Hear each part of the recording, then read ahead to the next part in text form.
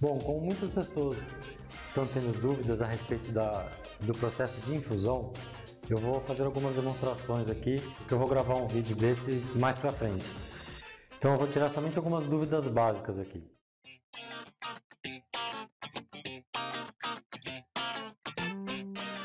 É, no processo de construção do resin trap, que é um reservatório de resina a gente usa como uma espécie de filtro para não deixar a resina ir direto para a bomba, na tampa dele a gente faz da seguinte forma: a gente usa uma flange de caixa d'água, ela vem aqui com esse anel de vedação, a gente retira esse anel de vedação.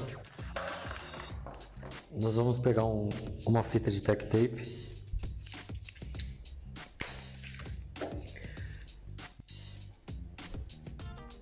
Vamos colocar o tech tape aqui em volta para a gente conseguir fazer a vedação dessa flange.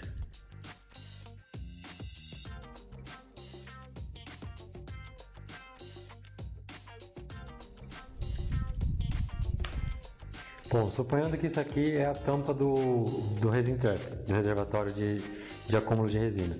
A gente vai passar, essa parte aqui vai ficar para dentro, a gente vai passar, vai fazer um furo com uma serra copo, aí a gente vai passar ele assim, aí você repara que o tech tape vai fazer a vedação pela parte de baixo.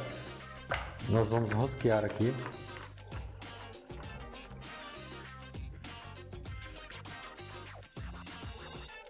Pronto, a vedação já foi feita. Na hora que você apertar aqui, o tech tape vai preencher toda a área aqui de baixo e a vedação daqui está ok. Agora para a gente continuar a montagem disso daqui, nós vamos fazer o seguinte. É, aqui eu tenho um nipple de meia polegada, né, que eu vou fazer a conexão aqui. O ideal é que a gente utilize o tech tape para fazer toda a vedação. O que, que a gente vai fazer? A gente vai pegar o tech tape, vai pressionar ele na rosca e vai passar ele como se fosse o V da rosca. A gente dá uma esticada nele assim, ó. Estica, tá vendo? Ele faz bonitinho, como se fosse um V da rosca.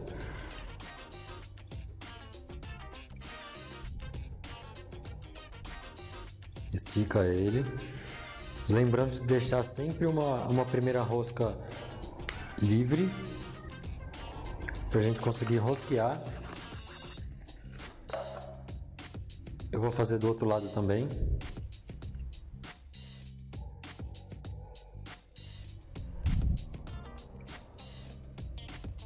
Tá vendo? Vem esticando ele bonitinho.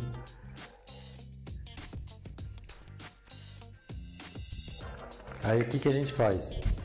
Vou colocar ele aqui. Vou apertar. Pode apertar bem, toma cuidado só para não quebrar. Tá vedado. Aqui em cima a gente vai colocar um registro. A mesma coisa, tem tech tape dos dois lados na rosca, eu vou apertar ele também.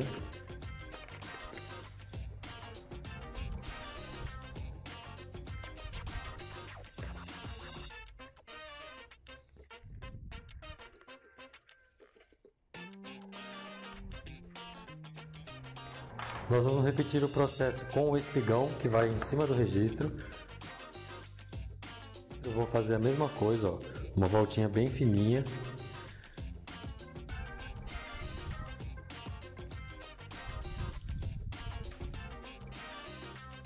E a mesma coisa, rosquei ele aqui em cima.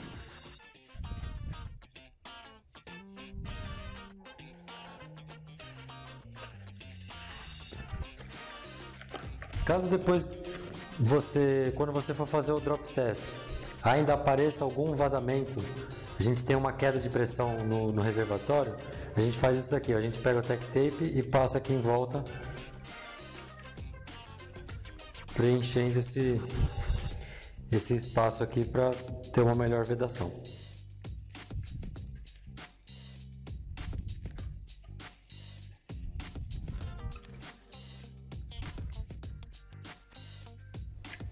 A gente tem um registro abre e fecha, um registro esfera de meia polegada. Todas as conexões aqui são de meia polegada, justamente porque é mais fácil de você encontrar.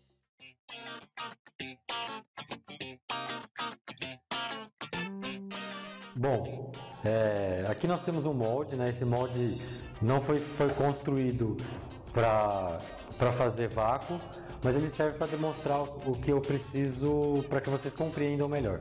Então você vai colocar a fita crepe em volta do molde todo, bem na borda aqui, que é onde vai colocar o tech tape. Você repara que a fita tem a mesma largura do tech tape, inclusive.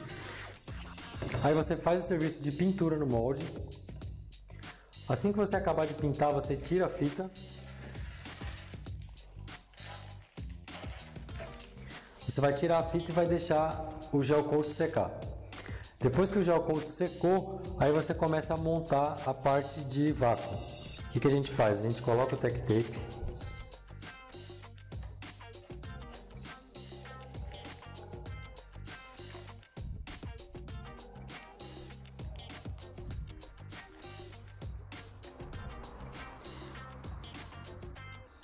Nesse pedaço aqui, a gente vai cortar o tech tape.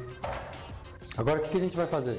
Nós vamos levantar a pontinha aqui e vamos continuar o processo passando o tech tape. Ele tem que colar por cima do outro. Continua passando o tech tape.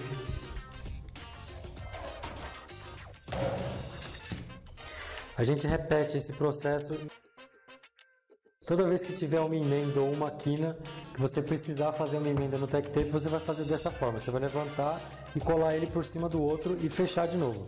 Ele precisa ficar protegido, porque provavelmente você vai trabalhar com fibra, com manta, então ele não pode cair nenhuma sujeira nele, porque senão vai atrapalhar na colagem do, do filme de vácuo. Depois que você montar todos os, os processos aqui, a gente começa a fazer a montagem da linha de vácuo.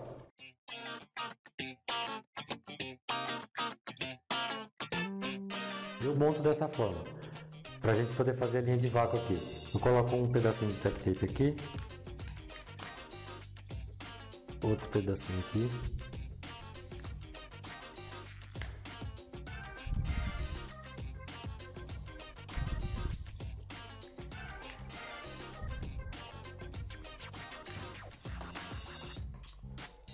Nós vamos pegar o, o espiraduto, né? Esse é um espiraduto de meia. Aí a gente retira ele, cola ele aqui em cima, retira ele, cola ele aqui em cima. Você vai ver que ele já vai ficando na posição exata.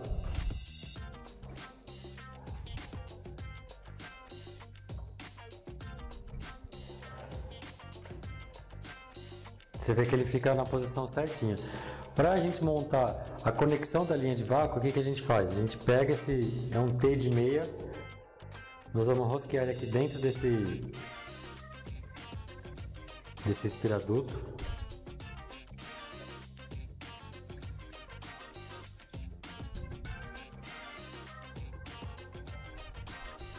Você vê que ele também fica paradinho no lugar. Após a gente fazer isso, provavelmente ou vocês vão colocar o peel ply for laminação a vácuo, vai vir um filme, o filme absorvente aqui por cima. Então, tanto o peel ply quanto o filme absorvente, os dois têm que passar por cima da linha de vácuo. Dessa forma. O, tech, o, o peel ply você consegue prender ele no tech tape do que você usou para prender a linha de vácuo. Tá vendo que ele fica direitinho. Só você dar uma apertadinha nele, ele fica. Se você estiver usando o Peel Ply, lembra de sempre deixar ele o mais acomodado possível na peça, porque a hora que der o vácuo ele não pode esticar. Se ele esticar ele vai dar ponte e essa ponte é preenchida com resina. Então a gente deixa ele bem certinho aqui, ó, tá vendo? Agora eu vou demonstrar como que a gente faz o fechamento da bolsa por causa desse T de meia aqui.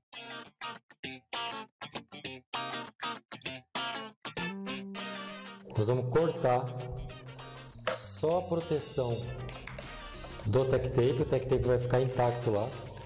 Aí a gente vai abrir para poder trabalhar. Nós vamos pegar um, uma tirinha de tech tape e eu vou circular o T.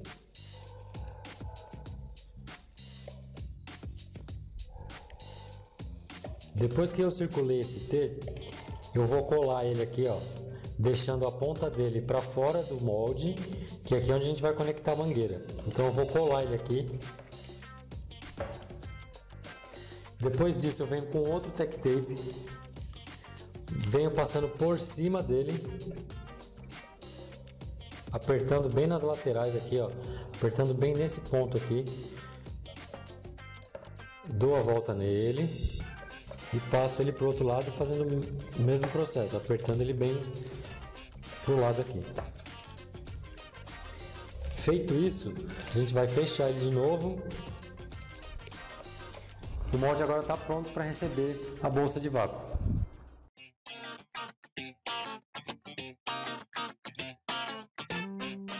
No fechamento da bolsa, a gente vai começar assim, ó. Nós vamos retirar essa fita aqui e a gente já coloca a bolsa de vácuo colada no tech tape. Logo aqui na ponta aqui a gente já começa a fazer um vinco, porque essa bolsa ela precisa descer aqui no molde. Então a gente já vai fazer um vinco logo ali.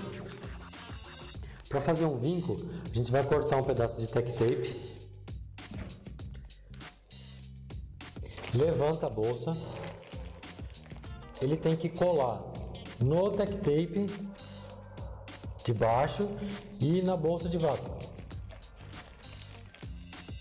Depois que ele colou, o que a gente faz? A gente dá uma voltinha nele aqui assim, ó, ó uma voltinha nele e estica ele e cola em cima da bolsa, em cima do tech tape. E continua.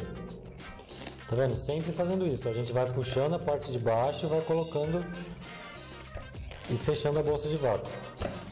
Caso você cole errado e precise retirar, basta que você puxe de uma vez ele sai tudo, tá vendo? Se você puxar devagar, ó, ele cola. Então a gente tem que, caso precise retirar, é só você puxar ele rápido que ele sai. A gente continua. Aqui a gente vai fazer mais um vinco.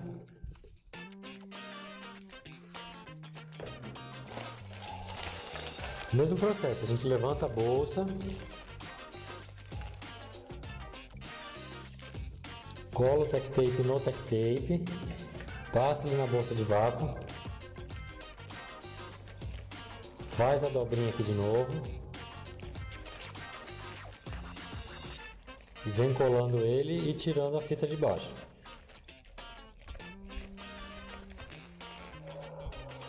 Quando chegar nessa parte aqui, a gente vai tirar a, a proteção do tech tape, tira a proteção do tech tape também. A gente vai levantar essa bolsa de vácuo e vai vir com o dedo pressionando.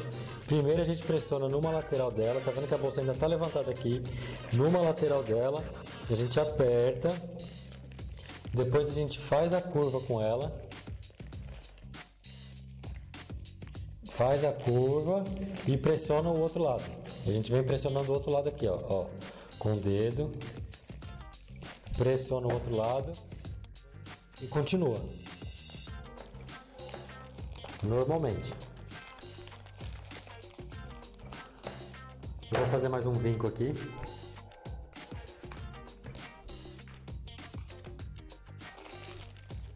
Mesma coisa, a gente vem aqui, cola no tech tape, bolsa de vácuo, dobra a pontinha dele, não esquece de dobrar a pontinha dele aqui em cima.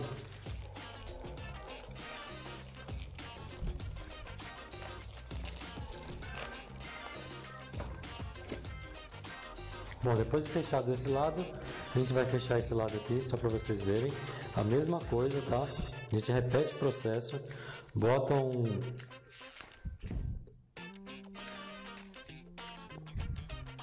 Um tech tape para fazer o vinco, a gente levanta ele.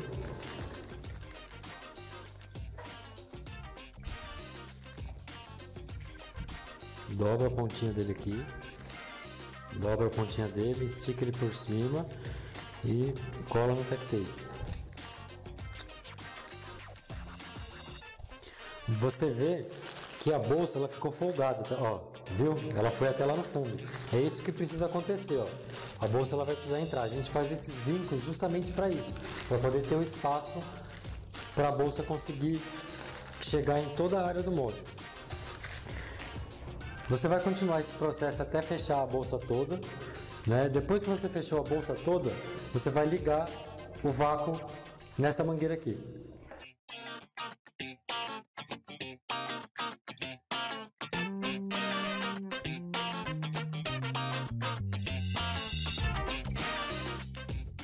Caso você tenha alguma peça, algum, alguma linha de vácuo dentro, o que, que a gente faz? Esse T aqui é uma demonstração do que, que a gente precisa fazer. Nós vamos esticar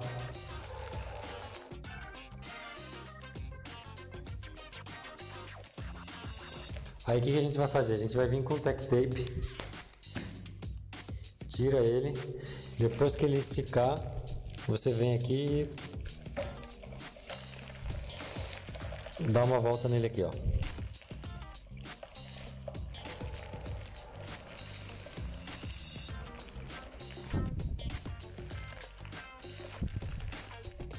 Esses pontos, geralmente, eles são danados para dar vazamento.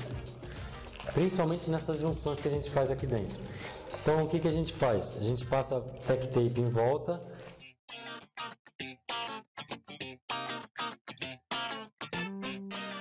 Na hora que você for montar a mangueira, aqui a gente tem duas possibilidades. Ou a gente coloca uma mangueira de meia, que você vai encaixar ela aqui, ela já vai pressionar no tech tape e vai vedar legal. Ou você pode usar uma mangueira de um quarto, né? Que a gente vai fazer? A gente vai colocar tech tape em volta dessa mangueira. Eu já medi aqui mais ou menos a distância que a gente tem, né, que ela não pode chegar até o fundo do, do T, senão ela vai obstruir a passagem de resina. Então a gente passa o tech tape aqui em volta da mangueira. O que eu vou fazer? Eu vou pegar a tesoura, vou fazer um furinho aqui. Vou encaixar essa mangueira dentro do T já com o tech tape. Depois, para a gente garantir que não tenha vazamento, a gente vai passar um tech tape em volta de tudo.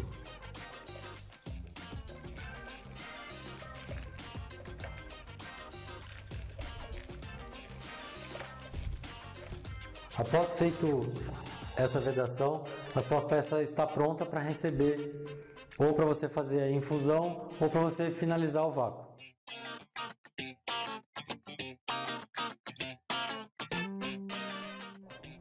Eu espero que vocês tenham gostado desse vídeo.